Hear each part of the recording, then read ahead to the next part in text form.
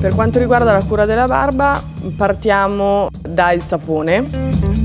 Sapone all'olio di mandorla, fatto fatto secondo un'antica formula che abbiamo appunto mantenuto negli anni. Da quando il prodotto è rivendibile al nostro pubblico abbiamo deciso di creare due prodotti da questa formula di sapone. Un sapone che noi definiamo sapone in crema che viene emulsionato per parecchio tempo e permette di formare una spuma che dopo viene essiccata all'interno di alcuni barattoli.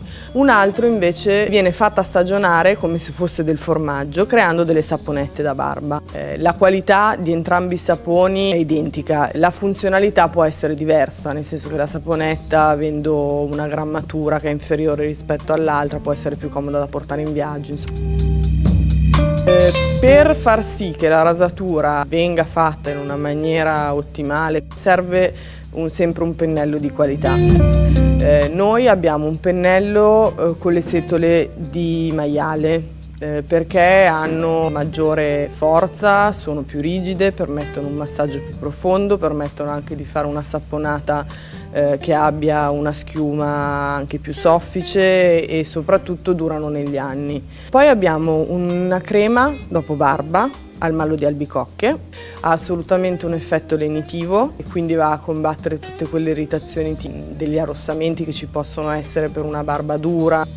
Partendo da questa formula siamo arrivati a creare però mh, recentemente una linea di latte dopo barba che hanno tre fragranze diverse, ovvero quella dell'olio di mandorla, eh, il sandalo rosso e il tabacco verde.